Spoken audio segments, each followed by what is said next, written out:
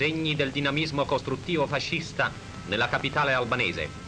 Tra gli edifici pubblici in corso di realizzazione si notano per la loro importanza il Palazzo Littorio, dove avrà degna sede il partito fascista albanese con tutti gli uffici dipendenti, e la Casa del Pascio, che sorgerà al centro di un nuovo quartiere urbanistico della capitale sullo sfondo di una piazza monumentale, delimitata dalla Casa della Gioventù del Littorio albanese e dalla sede del dopolavoro di Tirana.